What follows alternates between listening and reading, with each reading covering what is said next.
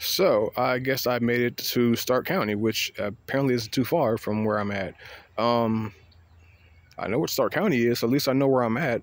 Um, I'm probably gonna turn around because yeah, I want to keep going, but like I don't know how far I'll be able to keep going. You know what I mean? So I'd rather stop here and know okay, I can make it to Stark County and then come back when to have a full battery. Because I really didn't leave the house with a full battery. I kind of left like a 75%, 80% battery. So, but yeah, this is where I'm at so far. Um, probably where I'm going to stop, like I said. Um, so I've crossed like three bridges.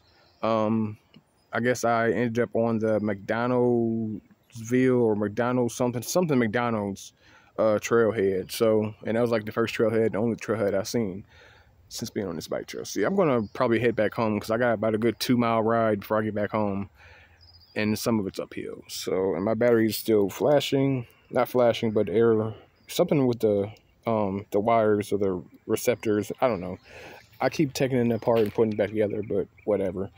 But yeah, so I'm gonna head back home. Um, hopefully you guys enjoyed my three videos. Um, like I said, I'll record again whenever I come out here again. Probably will try to come further and I will talk to y'all soon. Peace out.